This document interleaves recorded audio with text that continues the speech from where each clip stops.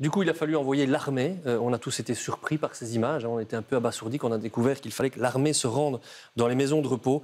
Est-ce que c'est le symbole de ce secteur, les maisons de repos, qui aurait été oublié selon vous Puisque c'est vous qui avez dû décider d'envoyer des troupes dans les maisons de repos. Donc, comme on l'a dit, la défense était disponible et s'est rendue disponible, comme beaucoup d'autres personnes d'ailleurs dans le cadre de cette crise. Ça a été une mobilisation en général pour faire en sorte que l'on puisse collectivement lutter contre ce virus. Et c'est vrai que la défense s'est rendue disponible notamment dans les maisons de repos via ses infirmiers, via des services rendus dans les maisons de repos elles-mêmes. Dans une trentaine de maisons de repos, nous étions présents, tant en Flandre qu'en Wallonie qu'à Bruxelles. Donc il était important qu'on soit là aussi disponible. L'armée, quand on fait appel, notamment dans le cadre de cette notion d'aide à la nation, on a répondu présent.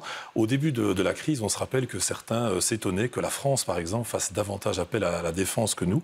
Ça voulait dire, et on l'a aussi signalé à ce moment-là, que nos services, dans leurs responsabilités respectives, ont été en capacité, finalement, de, rendre euh, le, service qui était demandé de leur part. Mais c'est vrai que la défense, via ses militaires, que ce soit des infirmiers ou d'autres, euh, était présente dans les maisons de repos chaque fois qu'on a fait appel à elle. Vous vous êtes dit à ce moment-là que vous deviez à un problème de gestion, un problème de prévision sur ce secteur en particulier? La question ne s'est pas posée dans ces termes-là. La question était de répondre à des demandes, de répondre à des besoins le plus rapidement possible, avec chaque fois une analyse des besoins et la nécessité de répondre à ces besoins, tout simplement.